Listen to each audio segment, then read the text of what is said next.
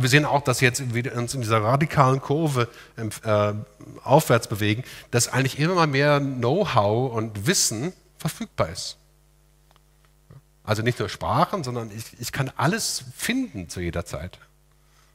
Und das ist eine ganz neue Situation für Leute, die was recherchieren wollen, zum Beispiel diese Knowledge Doubling Curve, die man sagt, ja, die man, wo man durch äh, Keywords und so alles finden kann. Cloud Computing. Ja, alle Informationen, alle Daten, alles Wissen, alle Medien sind in der Wolke erhältlich. Ich kann auf, äh, auf YouTube oder auf, auf vielen Online-Fernsehsendern eigentlich finden, was ich will. Wenn ich den ganzen Tag Motorradfilme anschauen will, das kann ich, ja? kein Problem. Wenn ich Archäologe bin, kann ich auch genug finden darauf, wenn ich Keynote-Speeches will, also in jeder Art und Weise verfügbar sind in der Zukunft.